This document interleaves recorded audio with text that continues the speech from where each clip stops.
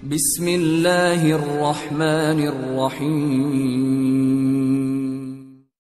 ये नाबीना जब उस कमरे से निकला तो उसके जिसम पर बहुत से ज़ख़म थे, जो ऐसे ही थे कि वहाँ छुरी बार बार चबोई गई थी।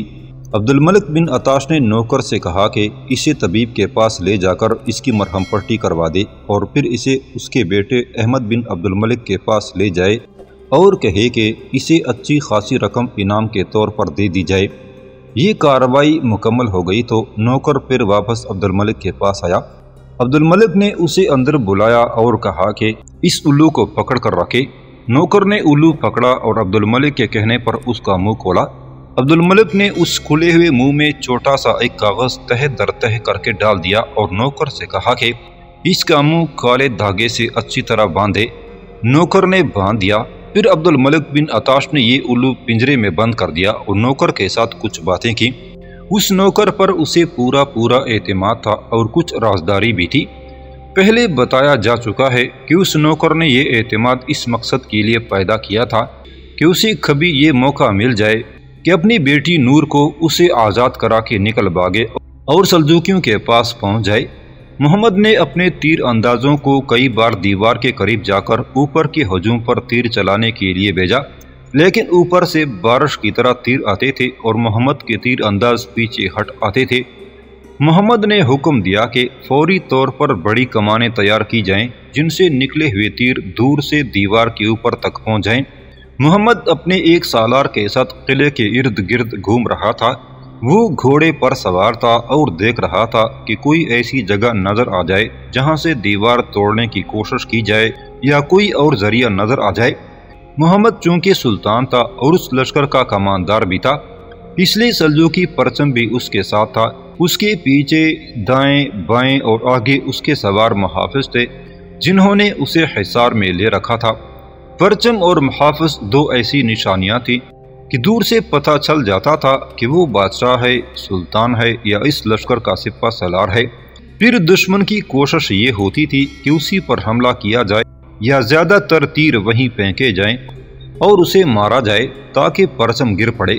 परचम गिरने की सूरत में या लश्कर के कमानदार या बादशाह के मारे जाने की सूरत में पूरा लश्कर बददिल होकर पसपा हो जाया करता था। मोहम्मद के साथ भी ऐसा ही हुआ। वो जिधर ही जाता था, तीर उधर ही ज़्यादा आते थे। लेकिन वो तीरों की जब्त से बाहर था। चलते चलते वो एक दरख्त के करीब पहुँचा तो एक तीर दरख्त के तने में आ लगा और वहीं खुब गया। वहाँ तो तीरों की बारिश आ रही थी, इसलिए एक एक तीर को देखने का कोई मतलब नहीं था। लेकिन ये तीर जो दरख्त के तने में ज़मीन से जरा ऊपर लगा था, मोहम्मद की नज़रों में आ गया। उस तीर के साथ कोई कागज़ या कपड़ा बंधा हुआ था मोहम्मद रुक गया और उसने एक मुहाफ़ से कहा कि ये तीर तने से निकाल लाए। मुहाफ़ घोड़े से उतरा और वो तीर तने से निकालकर मोहम्मद को दे दिया। मोहम्मद ने ठीक देखा था। तीर के दरमियान में तय किया हुआ एक कागज़ या छोटा सा कपड़ा दागे से लिपटा हुआ था। मोहम्मद ने जल्दी जल्दी से दागा उतारा और देखा, ये कागज़ जैसे बारीक चमड़े का चंद इंच चौड़ा और इतना ही लंबा टुकड़ा था और उस पर कुछ लिखा हुआ था। मोहम्मद ने तहरीर पढ़ी, उसमें लिखा था कि आज या कल या किसी भी वक्त शहर से एक उल्लू उड़ेगा जो आपके लश्कर की तरफ़ आएगा? और शायद ये उल्लू तमाम तर लश्कर के ऊपर से चक्कर काट कर शहर में वापस आ जाए या कहीं गायब हो जाए? ये उल्लू जो ही नज़र आए, उसे तीरों से मार गिराएँ, और जहाँ ये गिरे, वहीं उस पर खुश घास वगैरह डालकर आग लगा देना वरना नुकसान उठाओगे। ये शहादत भी मिलती है कि अब्दुल मलिक बिन अताश ने कहा था कि उसने जो अमल किया है, उसे सलजूकियों का पूरा लश्कर नहीं तो लश्कर का कमानदार अंधा हो जाएगा। अगर आँखों से अंधा न हुआ तो अकल से अंधा तो ज़रूर ही हो जाएगा। और फिर वो जो भी फैसला या जो भी कार्रवाई करेगा, वो उसके खिलाफ हो जाएगी। मोहम्मद ने इस पैगाम को बेमानी और फजूल समझ कर फेंक न दिया उसे मालूम था कि बातनी और खसूस अब्दुल मलिक बिन अताश काला जादू जानते हैं और उन्होंने ज़रूर कुछ अमल किया होगा और ये पैगाम अपने ही किसी जासूस ने बाहर फेंका होगा। मोहम्मद ने यह पैगाम अपने सालारों को पढ़कर सुनाया और कहा कि तमाम लश्कर में ये पैगाम पहुँचा दिया जाए और उन्हें बता दिया जाए कि जो ही उन्हें उल्लू उड़ता हुआ अपनी तरफ़ आता नज़र आए, उस पर तीर चलाएँ और उसे गिराने की कोशिश करें। और वो जब गिर पड़े तो उसको वहीं जला डालें। पैगाम फ़ौरन तमाम लश्कर तक पहुँच गया। उस पैगाम के बाद लश्कर की हालत यह हो गई कि वो शहर की दीवार पर खड़े तीर अंदाजों पर तीर चलाते थे और बार बार ऊपर भी देखते थे। वो दिन गुजर गया और रात को भी सिपाही ऊपर देखते रहे। फिर अगला दिन तलू हुआ। एक तरफ़ से शोर उठा कि वो उल्लू उड़ा। सबने देखा कि एक उल्लू शहर से उड़ा और एक तरफ़ से सल्जूकी लश्कर के ऊपर गया।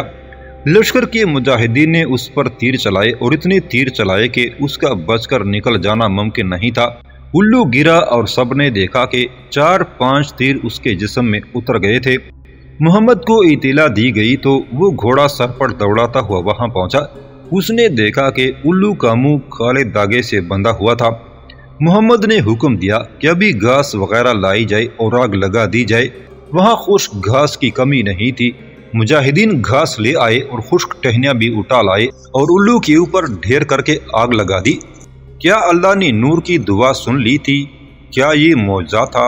आखिर ये कौन था जिसने दुश्मन के घर से यह पैगाम फेंका था? बहरहाल, ये अल्लाह का खास करम था कि खतरा टल गया था। मुहासरा बड़ा ही सरगर्म हो गया था, लेकिन कामयाबी की कोई सूरत नज़र नहीं आती थी। चूँकि मरु का लश्कर इंतकाम से पागल हुआ जा रहा था इसलिए सालारों को ये मुश्किल पेश नहीं आती थी कि वो उन्हें आगे किस तरह धकेलें, बल्कि मुश्किल पेश ये आ रही थी कि लश्कर बार बार दीवार के करीब या दरवाज़ों की तरफ़ उठ दौड़ता था और उसे रोकना पड़ता था। वहाँ शुजात और बेखौफी की तो ज़रूरत यकीनन थी, लेकिन अकल के बगैर शुजात बड़ी ही नुकसानदेह थी। यहाँ तक दलेराना कार्रवाई की गई कि एक रात दीवार के करीब जाकर कमंद ऊपर फेंकी गई। कमंद चोटी दो ब्रजों के दरमियान अटक गई और दो तीन मुजाहिदीन रस्सा पकड़कर ऊपर जाने लगे।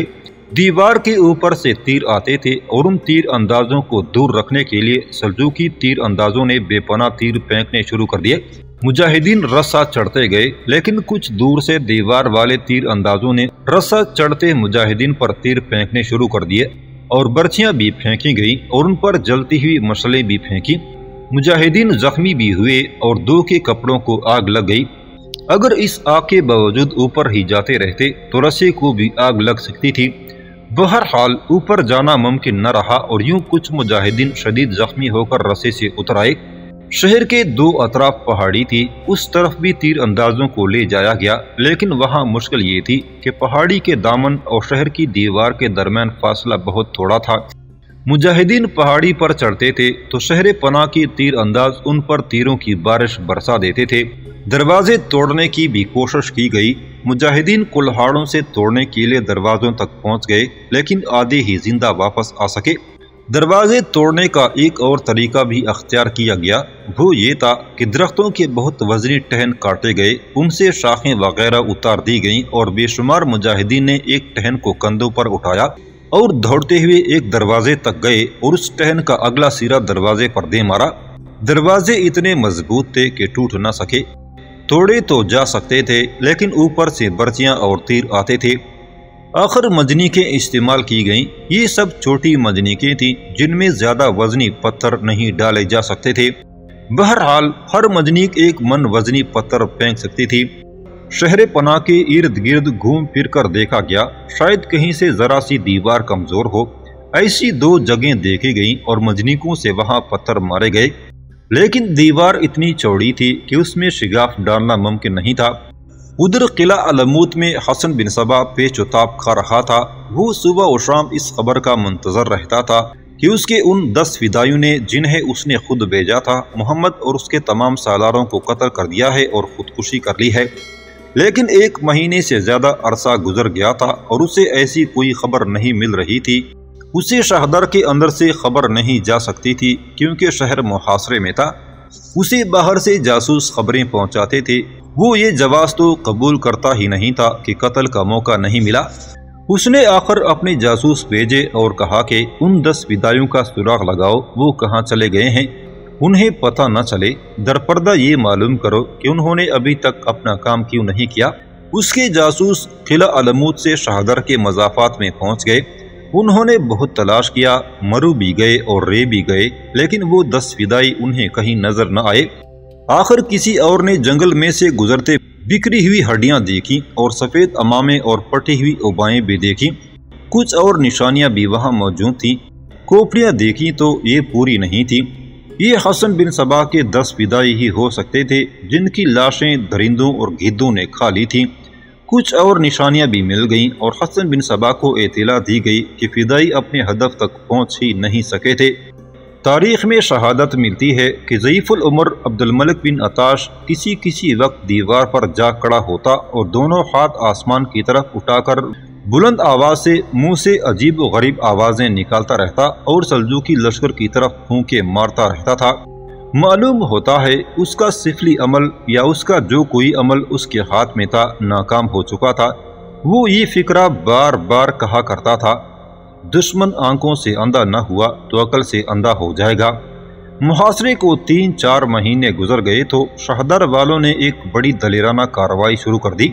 रात के वक्त शहर का कोई एक दरवाज़ा खुलता और उसमें से 200 या 300 आदमी बर्चियों और तलवारों से मसला बड़ी ही तेज़ी से बाहर निकलते और बिल्कुल सामने सलजूकी लश्कर पर टूट पड़ते, जिस कदर नुकसान कर सकते, करके उसी तेज़ी से वापस चले जाते थे। उनका अपना जानी नुकसान तो होता था, लेकिन सलजूकी लश्कर का जानी नुकसान कई गुना ज़्यादा हो जाता था। बेशुमार सलजूकी शदीद जख्मी भी हो जाते थे। तीसरी चौथी रात शाहदर की अंदर से ऐसा ही हमला अचानक आता और फिर वापस चला जाता था।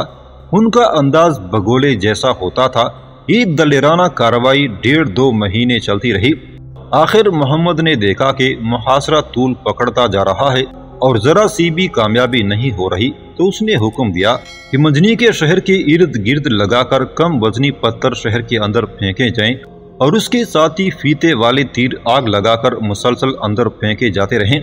दो तीन मर्रखों ने यह भी लिखा है कि शहर से जो आदमी हमला करने के लिए बाहर आते थे, उनमें से बाज इतने जख्मी होते थे कि वापस नहीं जा सकते थे। उनसे पूछा गया तो उन्होंने बताया कि शहरी मुहासरे से तंग आ चुके हैं और वो चाहते हैं कि मुहासरा जल्दी टूट जाए या शहर मुहासरा करने वालों के हवाले कर दिया जाए। शहरी ज़रूरियात ज़िंदगी से महरूम हो गए थे और ज़्यादा नुकसान ताजरों और दुकानदारों का हो रहा था, जिन्हें बाहर से माल मिल ही नहीं रहा था। मर्रखों ने लिखा है, ये थी वजह कि मोहम्मद ने शहरियों को और ज़्यादा परेशान करने के लिए शहर पर पत्थर और फीते वाले आतशी तीर बरसाने शुरू कर दिए थे। मुहासरे को आठ नौ महीने हो चले थे। एक सुबह शहर का एक दरवाज़ा खुला और एक आदमी बाहर आया, जिसके हाथ में सफ़ेद झंडा था। बाहर आते ही उसके पीछे दरवाज़ा फिर बंद हो गया। ये आदमी सलजू की लश्कर के करीब आ गया और उसने बुलंद आवाज़ से कहा कि वो सलजू की सुल्तान के लिए एक पैगाम लाया है। एक सालार को जो वहाँ करीब ही था इतला दी गई। सालार आया और वो उस आदमी को सुल्तान के पास ले गया। ये पैगाम किले के हाकम अहमद बिन अब्दुल मलिक की तरफ़ से था। उसने लिखा था कि हम लोग तुम्हारे एक अल्लाह और एक रसूल वसल्लम और एक कुरान को मानते हैं और हम ये भी मानते हैं कि मोहम्मद आखिरी रसूल वसल्लम है। इसके बाद हम शरीयत की पूरी पाबंदी करते हैं। फिर क्या वजह है कि हमें आज़ादी से ज़िंदा रहने का हक नहीं दिया जा रहा? हमारा इख्तलाफ सिर्फ़ इमामत पर है। आप हमारे इमाम को नहीं मानते तो ये इतनी बड़ी बात नहीं, क्योंकि इमाम नबी या रसूल नहीं होता। फिर हम इतात कबूल करते हैं तो क्या शरीयत में जायज़ है कि एक ही मज़हब का एक फ़िरका इतात कबूल कर ले तो उसे जुल्म तशद का निशाना बनाया जाए और उसे जीने के हक से महरूम रखा जाए? चूँकि इस पैगाम में इतात का ज़िक्र भी था इसलिए मोहम्मद ने अपना रवैया कुछ नरम और सुलह जू कर लिया। लेकिन उसमें चूँकि मज़हब का ज़िक्र भी था इसलिए मोहम्मद ने बेहतर समझा के उलमा से फतवा ले लिया जाए। मोहम्मद ने पैगाम भिजवा दिया कि वो अपने सुनतुल जमात से फतवा लेकर फैसला करेगा। इस मौका पर उलमाए दिन ने अपना वही किरदार पेश किया, जो आज तक चला आ रहा है। अबुल कासम रफ़ीक दिलावरी ने लिखा है कि उलमा इस मसले पर मुतहद और मुतफिक न हुए। बाज़ उलमा ने तो ये फतवा दे दिया कि हसन बिन सबा का फ़िरका इस्लाम का ही एक फ़िरका है, इसलिए इस फ़िरके पर तशद जायज़ नहीं। बाज़ उलमा ने कोई भी फतवा देने से माजूरी का इजहार कर दिया। उस वक्त एक बड़े ही मशहूर आलम दीन थे, जिनका नाम शेख अबुल हसन अली बिन अब्दुलरहमान था। उन्होंने फतवा दिया कि बातनी इस्लाम का फ़िरका नहीं, बल्कि उनके अकायद खिलाफ इस्लाम है और उनके अमाल ऐसे हैं कि उनका कत्ल वाजिब है और हालात वाक़ात गवाह हैं कि बातनी कत्ल गारत गरी में यकीन रखते हैं और उनमें इबलीसियत का अनसर गालिब है। उन्होंने फतवे में ये भी लिखा कि बातनी अपने इमाम का हुक्म मानते हैं और शरीयत को अलग रखते हैं। ये फिरका उन चीज़ों को भी हलाल करार देता है, जो शरीयत इस्लामी की रूह से हराम करार दी जा चुकी है। लिहाजा इस फिरके को बख्शना इस्लाम के हक में नहीं। मोहम्मद ने ये फतवा शाहदर अहमद बिन अब्दुल मलिक की तरफ़ भिजवा दिया।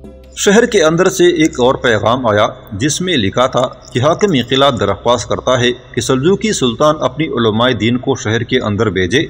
ताकि बातनियों के उलमा के साथ बैस मुबासा हो सके और फिर ये मामला किसी नतीजे पर पहुँचाया जा सके। उस वक्त इस फिहान के काजी एक आलमदीन, काजी अबुल अला सैद बिन यहिया थे, जो शेखुल हनफिया थे। मोहम्मद ने उन्हें शाहदर बुलवाया।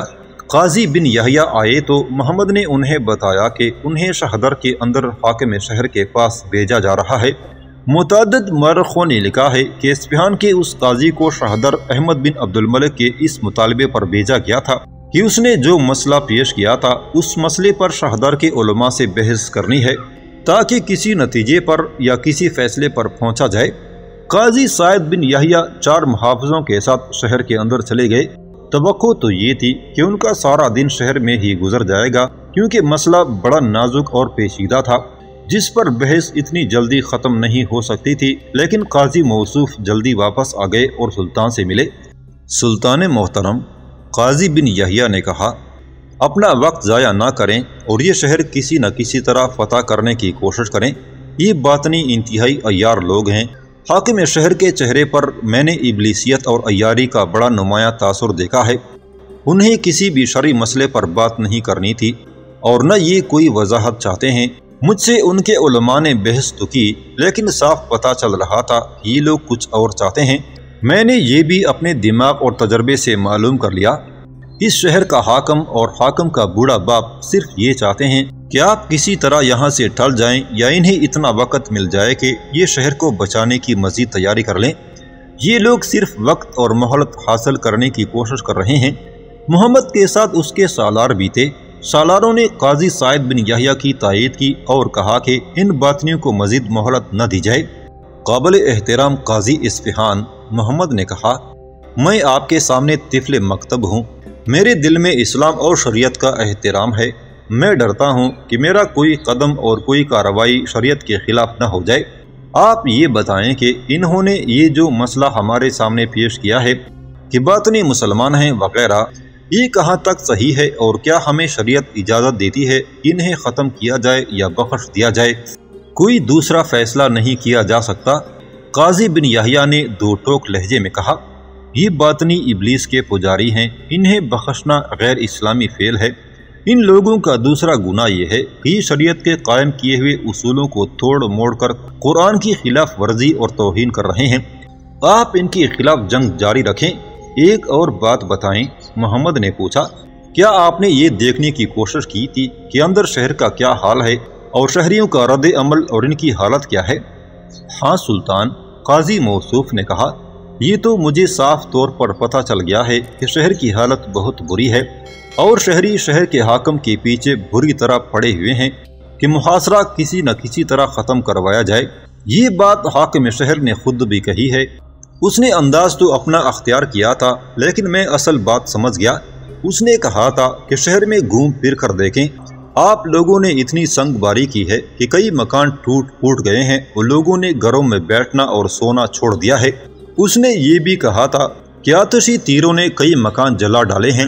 उसने ये भी कहा कि शहर का अमन अमान ख़त्म हो चुका है और नौबत फाका कशी तक पहुँच रही है। मैंने शहर की ये हालत अपनी आँखों से देखी है।